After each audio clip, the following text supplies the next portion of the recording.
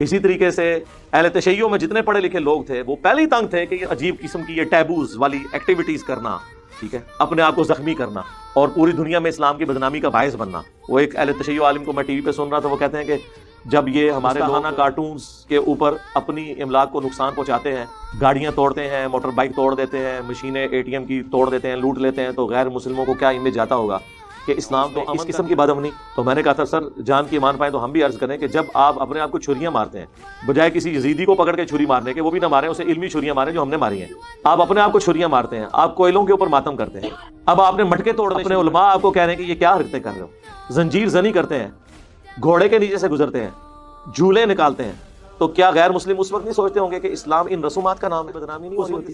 तो जो डॉक्ट्रिन आप बना रहे होते हैं जरा उसको दूसरे एतबार से देखें कि यार ये क्या इस्लाम की तालीमत ही इस चीज़ का नाम है कि साल के बाद रबी अव्वल के महीने के अंदर लोग निकल आए बाहर साल के बाद मुहर्रम के महीने के अंदर लोग निकल आए बाहर या रमज़ान के महीने के अंदर निकल आए बाहर।